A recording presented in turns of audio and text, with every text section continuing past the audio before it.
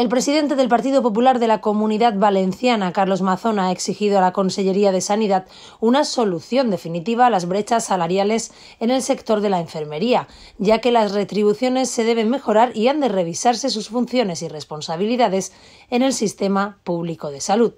Así lo ha asegurado Mazón tras reunirse, entre otros, con el sindicato de enfermería SATSE en la comunidad valenciana. El presidente de los populares valencianos les ha recordado que ya han solicitado la documentación y exigido una investigación interna para depurar responsabilidades en las oposiciones que se han hecho para la